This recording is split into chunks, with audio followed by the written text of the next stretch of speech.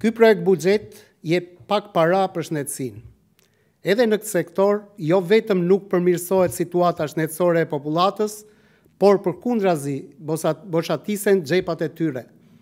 Qytetarët vijojnë të paguajnë shumë për sëmundjet të cilat mund t'i parandalojnë duke bërë check-up-in, por që qeveria me skemat korruptive e ka kthyer check-up-in në një instrument vjedhjeve dhe jo në shërbim të qytetarëve.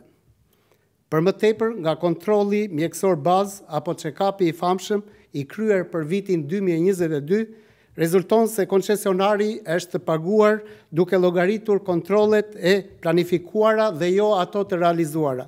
Konkretisht, është faturuar shërbimi i pakryer për njëzet mijë e njëqind e shtatëdhjetë e dy raste me një kosto prej tridhjetë e shtatë pikë dy milionë lekë, pra për vitin dy mijë e njëzet e dy koncesionari ka futur në xhepat e tij tetë pikë pesë milionë euro.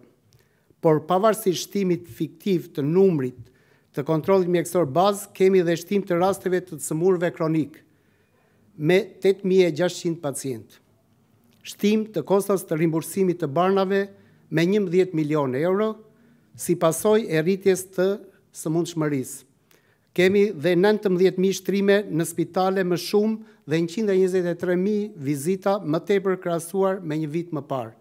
Ndaj ky nuk është projekt buxhet, por një thes abuzim i qeverisë.